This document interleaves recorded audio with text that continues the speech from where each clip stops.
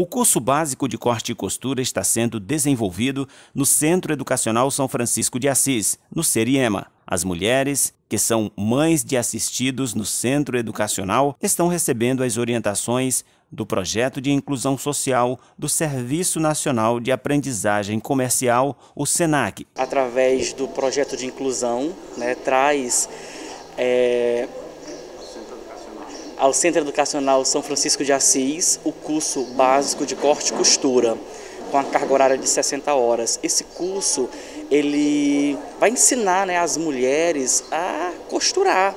Né, e através desse curso, o objetivo também é que essas mulheres venham ter uma renda, né, uma renda aí extra. Aqui, elas aprendem a construir possibilidades que vão repercutir em suas vidas profissionais e inserção no mercado de trabalho mais qualificadas. Ah, para mim uma experiência maravilhosa, né? E também, como eu já como eu acabei de dizer, eu costuro nas comum, então é, vai abrir portas, né, para mim querer adquirir uma máquina profissional para mim continuar, né? Base eu tenho costura só em mão, mas na prática é, com máquinas não. Então está sendo bom porque vai ser um aprendizado a mais por por conta de pandemias, essas coisas que vêm acontecendo, mas um aprendizado para mim e para as alunas que estão aqui também.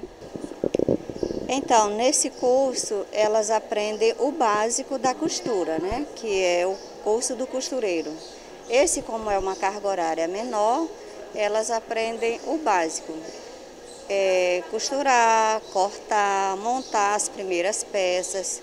Ao todo, são 20 mulheres que estão abrindo os horizontes e que aproveitam a mais uma oportunidade aberta por meio da parceria entre o Centro Educacional São Francisco de Assis e o SENAC. Então são 20 mulheres que estão fazendo né, este curso, são mulheres aqui da comunidade, algumas sabem alguma coisa, outras não, né, e querem o certificado, e outras estão aqui para aprender, para ajudar na sua renda e também fazer né, para a família.